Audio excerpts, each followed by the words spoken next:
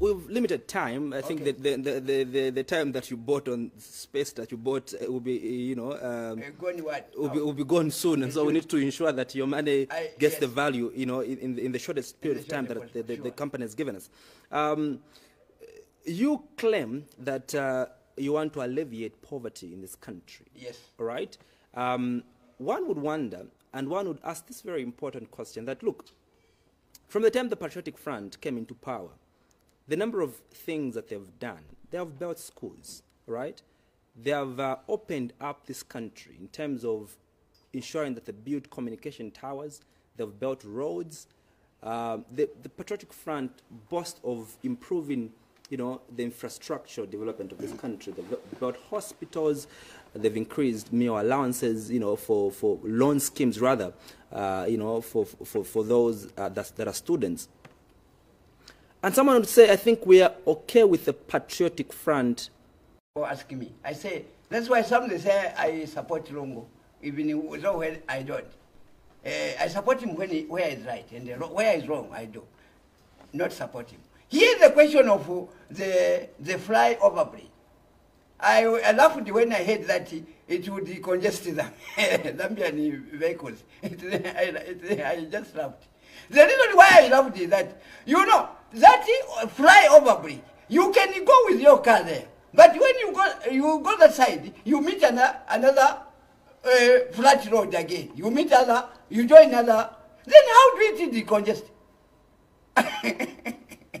my dear friend, you know, it is a questionable. In my government, let me tell you the difference. When I've been set So up, there's everything wrong with the flyover bridges. the, everything wrong with that, it just only create problem. When you fly there, you join other group there. And then the other vehicle this side and the other vehicle that side. What will happen? Then you, you even create more problems there. So now, when I've been set out, what I'm going to do, we shall put up stair roads. The other vehicle are move, moving down. All cities, Lusaka city, starting from Lusaka, Kitwe, all these, we shall connect all the provincial centers with the up stair roads. The other roads down, the other road on top. The main buses, because in my government, I'll create revenue. Those who are working, the minimum wage will be 10 million. So they will be able to have cars. There will be a lot of cars like what you see here. In my government, a lot of cars will be here in Zambia. People will buy cars. They will have money. All those who are not working in my government will be getting 2 million salary. If they are 10, it will be 10 times 2, they have 20 million. So even those families, if they want to put together their resources, they can buy a car. So there will be a lot of cars in this country.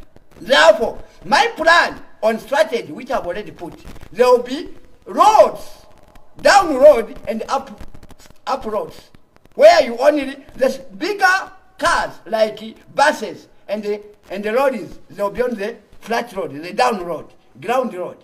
Then these two small cars will be on top there. What we do, we build the whole street of Lusaka hmm, to the nearest uh, sub-boma or the, uh, district, countrywide. That's my job, my job.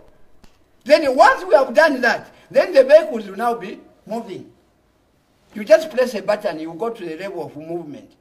This is the development project which I'll do. And of course, I'll print money to facilitate all that job. I'll create more jobs, more than 12 million, for road construction, bridge everywhere. Each road, we shall put, down road, we shall put fish bond. The drainages will be fish bond, so that we have got fish to the people to eat. My government, there's nothing you are going to throw. My first diploma in stores management, IPS, I was trained that the scraps and the byproducts. You, you eat something, then you throw it. That what you throw can be taken to the industry and they produce something. For example, when you throw a bottle after drinking uh, Fanta there, if you that bottle is taken to the bottler, they'll make they'll, they'll use that bottle. They'll give you money in exchange. If you throw a plastic, So, but, but let's speak about, you know, the, so the- those another I want you, you know, will bring back to the Yeah, of course, of course. my government. Uh, yeah. Then from there, I'll have my crops question and again- animal husbandry in each and every district. Of course. We shall have bumper harvest. President Mulyokela, I, Yes. I, I asked you about what is wrong the Patriotic Front government has embarked on a robust infrastructure. This is what I'm explaining. Thank you so much. I'm coming. They've built hospitals. Yes, I'm coming They've to that. built schools. They've invested heavily in, in, in education. Exactly. I'm we had, coming. we had the problem of load shedding, but load shedding at your place is, is, is an issue of the past. Please, please, give me chance. Let me come Explain. in. Let me come in. You know, we are talking, I'm talking about over, flyover bridge. That is my first topic, out of what you said. Hmm. I said why and what is my plan over that. Of course. Why I think that is a waste of, sheer waste of money for those uh, flyover bridge. It is a sheer waste of money. To me, according to my understanding and knowledge. Okay. So I'll put it upstairs. Now let us come to schools and the hospitals. Of course. To me, those schools and the hospital, they are private institutions for the patriotic front. Because the beneficiary to those schools are themselves. And they're not the people of Zambia. What do you mean, President? The reason is this. Taxpayers' money. Whatever you buy this VAT, value added tax which go to the revenue.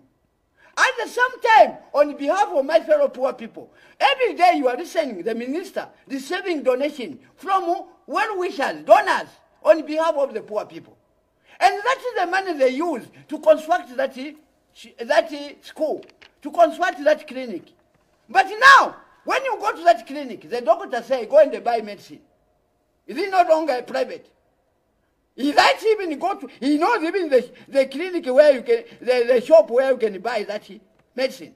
Because it is his own benefit. So the beneficiaries are themselves. The Zambians have to pay for that institution. Your children have to pay school fees.